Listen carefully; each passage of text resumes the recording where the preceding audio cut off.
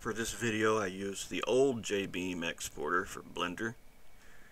So what you'll do is take this link and download the file.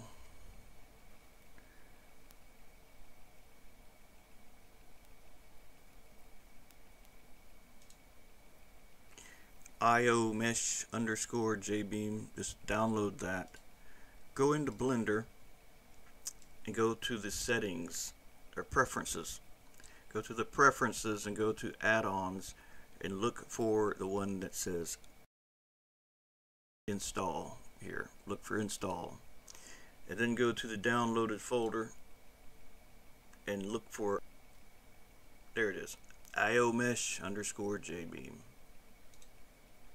Install add-on. And once you do that import export export JBeam format. Enable the little checkbox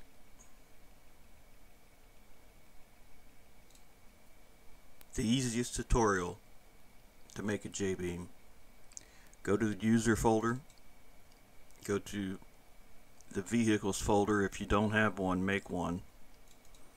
Inside of there make a new folder we'll just call it a wall um, a cube a cube. We'll call it a cube.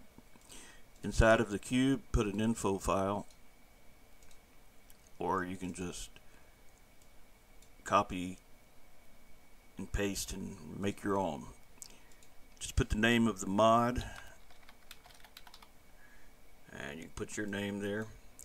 If you want it to show up at the top of the list you can just put car and it'll be at the top up there go to blender go ahead delete the camera the light open up this here and change the name of the material.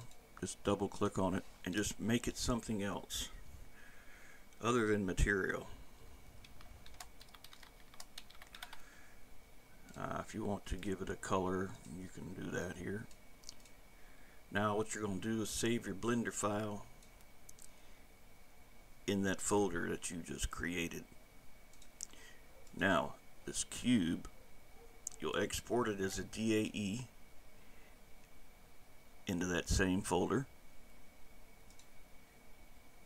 Now you'll export the cube as a JBeam. Now you can go to the JBeam exported folder that just got created in there copy that cube to the clipboard and then go back a folder and paste it so that it's in there with the info file. Open the cube JBeam. And right here where you see slot type main just press enter a few times.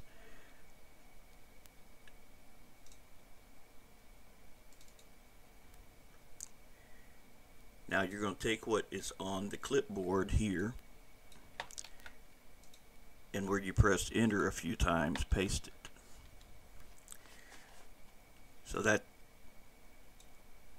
mesh is the cube right here. It's given a group name of cube and as you can see here the group is cube. So save this and load your level and load your cube.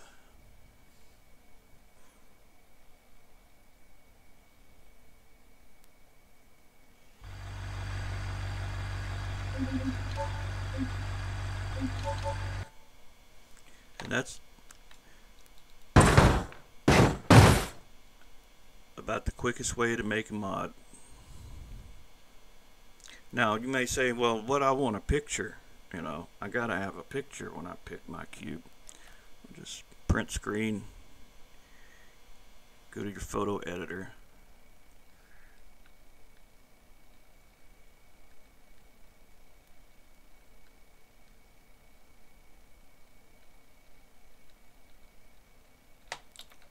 Paste, crop 1 to 2 ratio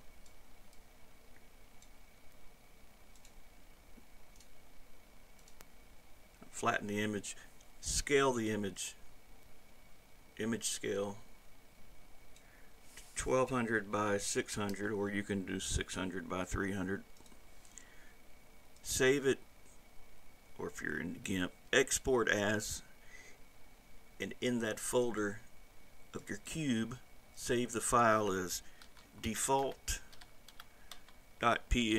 or JPEG it's up to you